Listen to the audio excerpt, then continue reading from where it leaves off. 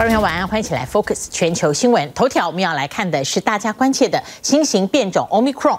这个新变种病毒持续冲击全球的经济复苏，尤其它摇动了投资者的信心，让美股持续震荡。在上周五，NASDAQ 指数一路由一万五千七百一十九点摔到一万五千零八十五点，在上周五这一天跌幅高达百分之一点九二。而我们可以看到，上周全周从十一月二十九号，那么一直到上周五的十二月三号。这个指数，美股的这个三大指数，就以 Nasdaq 来说，它的曲线呢是直线往下灌压，使得投资银行高盛宣布，它要下修二零二二年美国的经济成长前景。现在这波卖压已经从股市扩大到加密货币，比特币暴跌了百分之二十二，所以比特币的币值跌破了美金五万元。另外还有一个虚拟货币叫以太币，它也跟着走贬。我们了解一下这个新型变种病毒在全球经济目前从美金看起来带来的影影响。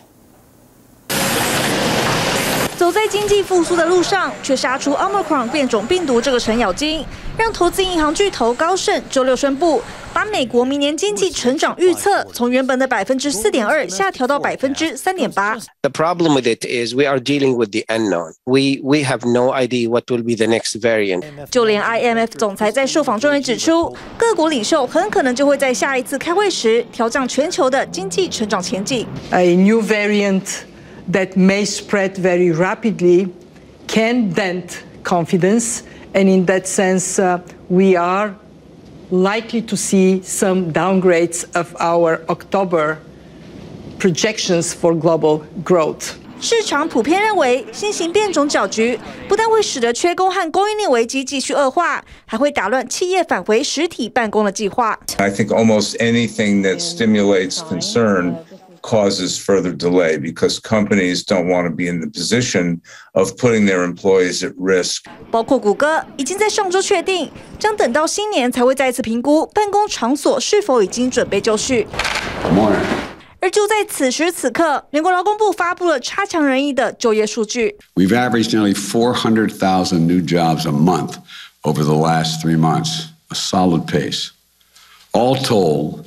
in the first 10 full months of my administration, the economy has created 6 million jobs, a record for a new president.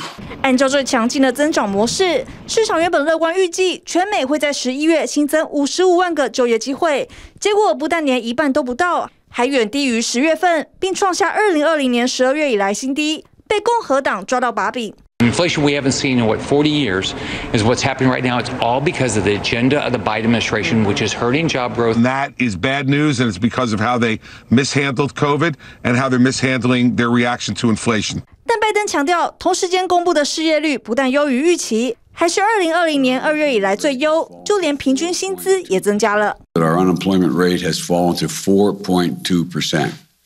At this point in the year. We're looking at the sharpest one-year decline in unemployment ever. 就业报告喜忧参半，让投资人燃起一丝希望，期望美国联准会会因此放慢退场脚步。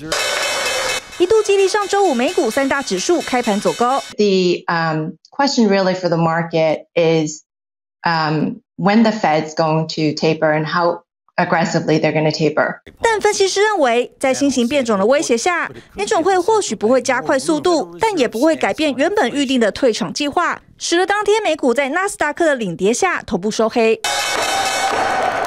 美股在经历一周震荡后，也连累到一篮子的加密货币，当中才刚在黑色星期五翻涨的比特币，不到一周竟暴跌百分之二十二，让币值瞬间贬到四万两千美元以下。The sell-off was widespread. Ether tumbled more than 10%, and data from trading platform CoinGlass showed nearly $1 billion worth of cryptocurrencies had been liquidated over the past 24 hours. 不过，目前已经有一个国家把这波卖压危机当成转机，那就是将比特币定为法定货币的萨尔瓦多。El Salvador picked up 150 bitcoins at an average price of roughly $49,000. President Nayib Bukele tweeted. El Salvador just bought the dip。